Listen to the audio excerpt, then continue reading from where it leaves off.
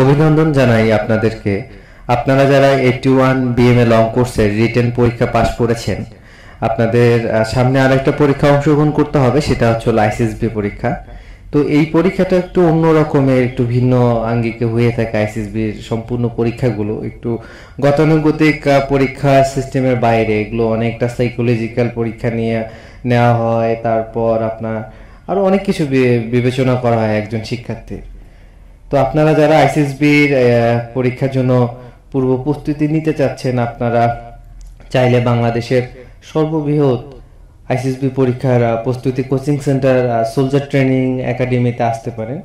এই একাডেমিতে আপনাকে আইসিএসবির পুরো চার দিনের যে পরীক্ষার সিলেবাস দেওয়া আছে, ওই সিলেবাস অনুযায়ী আপনাদেরকে প্রবল প্রস্তুতি আর নিবিড় অনুশীলন করানো হবে।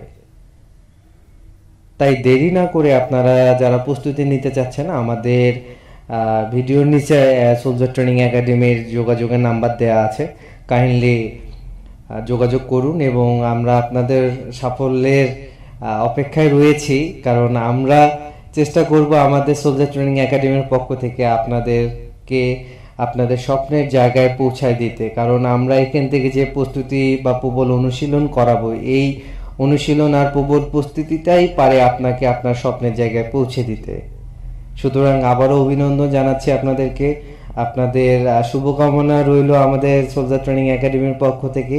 যদি আপনারা আমাদের একাডেমির আরও অন্যান্য ভিডিওগুলো আছে, ভিডিও টিউটোরিয়ালগুলো আছে, ওগুলো দেখবেন দেখে যদি মনে হয় যে না, সোলজার ট্রেনিং একাডেমিতে আপনি আসবেন, অবশ্যই যোগাযোগ করবেন। আর সে পর্যন্ত ইনশাল্লাহ ভালো থাকবেন সবাই। আসসালামু আলাইকুম।